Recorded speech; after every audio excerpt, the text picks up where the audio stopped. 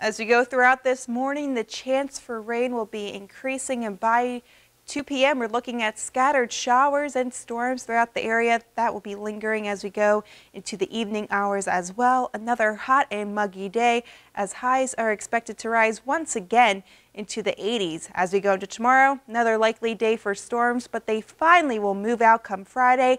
And after that, cooler, sunny, and more importantly, drier conditions.